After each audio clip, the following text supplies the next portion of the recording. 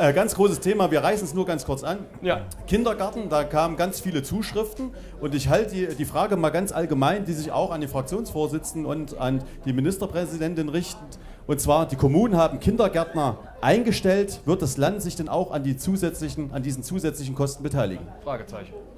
Ja, das äh, tun wir natürlich. Wir haben ja erheblich die Mittel aufgestockt, zum einen durch die, die Aufwandspauschalen und äh, zum anderen durch den kommunalen Finanzausgleich, wo wir ja insgesamt im Vergleich mal zum Ausgang 90 Millionen mehr in etwa, so habe ich die, die, die Zahl in äh, äh, Erinnerung, für diese Aufgabe reintun. Allerdings äh, bezuschussen wir nicht direkt Personalkosten, sondern von den Gesamtaufwendungen, die ja auch nochmal im Blick auf das Jahr 2010 spitz abgerechnet ermittelt wurden, äh, sodass da die Finanzierung im KFA gesichert ist. Das Problem ist nur, äh, dass wir an das Geld jetzt nicht einen Zettel dran machen können, und sagen so, das ist das Paket äh, äh, Kindergarten, Kindertagesstätten und das geht so durch und fließt dann genau auch so spitz in den Kindergarten rein.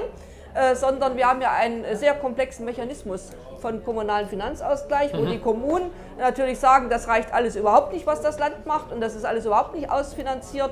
Aber gerade im Blick auf den äh, Kindertagesstätten und äh, auch diese Standards, die damit verbunden sind, die uns sehr, sehr zu schaffen machen, haben wir diese Geldmengen bereitgestellt.